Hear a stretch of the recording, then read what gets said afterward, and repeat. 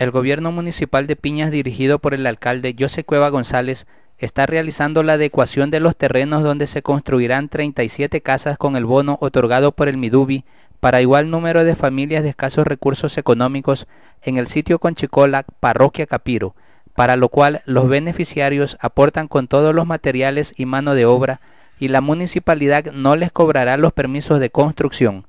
Con estos propósitos se firmó un convenio bipartito entre la municipalidad y el Comité de Vivienda del proyecto Conchicola, presidido por la señora Alba del Cisne Aguilar Chamba. En estos momentos maquinaria enviada por el gobierno municipal está realizando los trabajos de apertura y nivelación del suelo, y ellos pondrán los materiales y el terreno para construir dichas viviendas. El sistema forma parte de lo señalado en la Constitución de la República y en el COOTAC que dice que es obligación de los gobiernos seccionales ayudar y coordinar acciones en función de los intereses colectivos como en el presente caso. Durante la administración municipal actual ya se han cumplido con dichas ayudas en otros sectores rurales.